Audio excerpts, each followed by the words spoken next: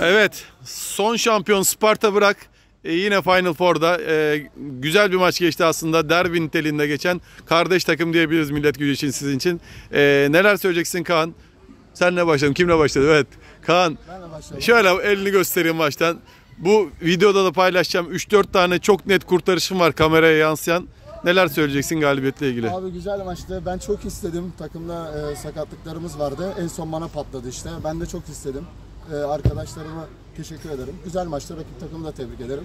İnşallah geçen seneki gibi gene bir şampiyonluk alırız diye düşünüyorum. Evet Kaan sen neler söyleyeceksin kardeşim? Öncelikle rakip takımı kutlarım.